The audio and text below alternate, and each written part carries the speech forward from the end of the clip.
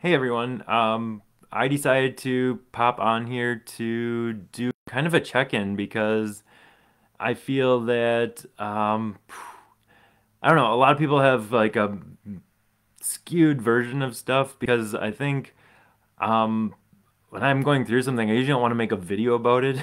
I'm usually wait till I'm on the other side of it, and then I'm like, oh, I kind of figured this all out, and then I, I put it all together and make sense of it. But like, I figured I'd do kind of a check-in during the middle of it. Um, basically, I have felt stuck. I felt like shit. I felt like I didn't want to do anything. I felt super closed off. Um, for those of you that watch my YouTube and stuff, I haven't made a video in like 60 days. Like there's like no creative anything. Um, I just felt super walled off, super closed off.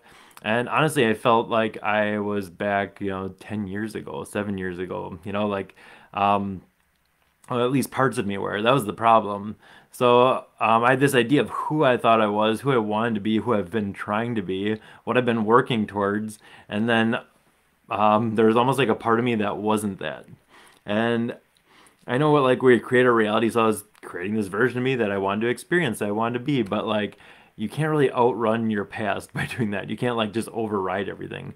If it was that easy, everyone would just be doing it. Okay, so yeah, you do create your reality, but um, that reality is created based on um, things that maybe you haven't that are, being created subconsciously or unconsciously as well. So I felt like there's almost like two parts of me at the same time. There was like all these old judgments coming up. Um, there was things that like I don't think now, but at some time part of me did. Very judgmental. There was like things that would like bleed through and it would be like such a like a jolt to my system because I'm like that's not me at all. Like I, I don't think that. Like I'd see an an old guy and like wouldn't think anything of it, but then in the background be like, oh look at that old guy, he should get off the road, and just very like disconnected with what I um, try to embody. But I think that um, a lot of the reason I couldn't get through it, I was trying to address it like it was something outside of me because it seems so far off from where I'm at now. But it turned out it was actually something within me, like the shitty parts of me that I didn't want to see, the shitty parts of me that I didn't want to address. Um, I know it's still like a long road ahead, but I have some at least enough clarity to articulate where stuff is coming from because I didn't even know how to make sense of this.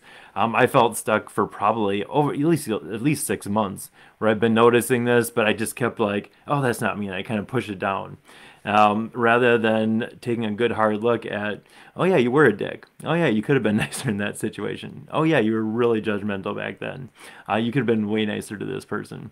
Um, so all those things have just been like right in my face, and um, yeah, I kept trying to kept trying to get around them because of where I'm at now, rather than just acknowledging that that was me and that I I don't have to stay stuck back there anymore, but I also have to acknowledge that that got me to where I am.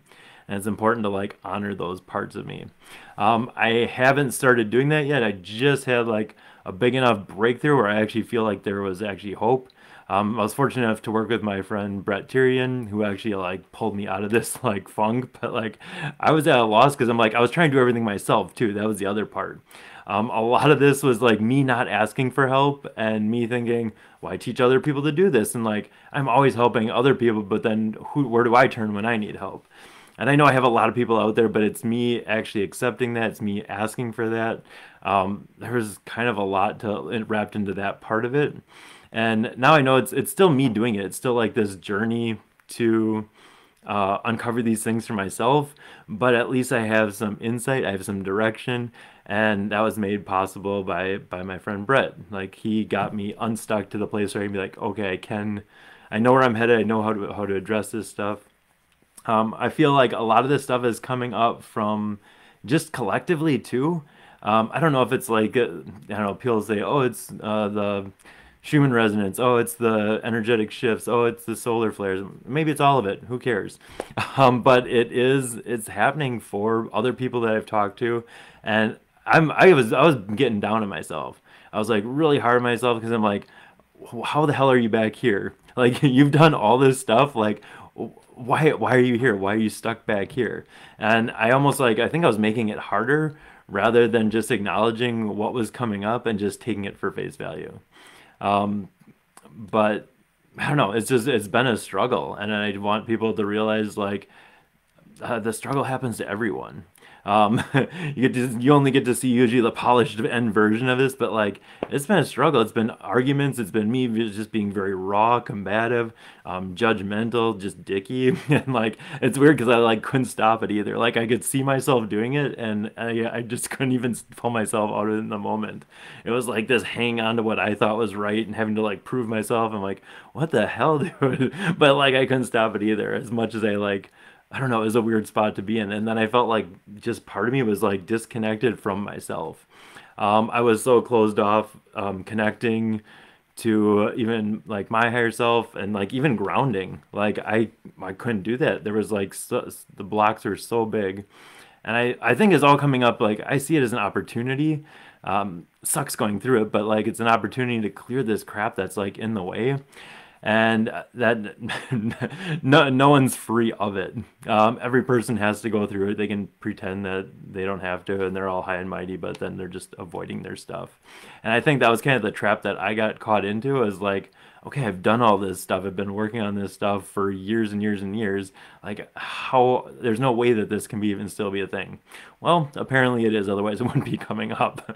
um, I've definitely learned that through the process. Um, Ah, man, I, I don't know. I usually have like notes and stuff. I, I don't know. I just figured I'd freeform this because I don't know. It's just how I'm feeling right now, and I want other people to know that they're not alone through whatever they're going through, however that looks for them. Um, we all go through it and we all have each other. There's a reason that we have other people in our lives. Uh, sometimes when I'm working with a person, they'll tell me that they're sick. The reason they got sick was to force them to ask for help from others.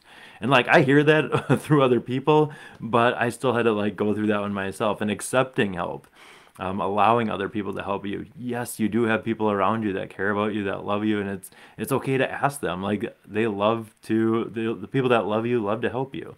So I think that was kind of like the eye opener there. And I know it's a long road ahead. I know there's some like shitty parts that I don't want to look at, I don't want to face, I don't want to deal with, but like it's also very like liberating because I know that there is light at the end of the tunnel and that these things are coming up for a reason and it's all pushing us somewhere better. Oh, uh, thanks for listening. Love you guys. And yeah, love to hear your comments on this one.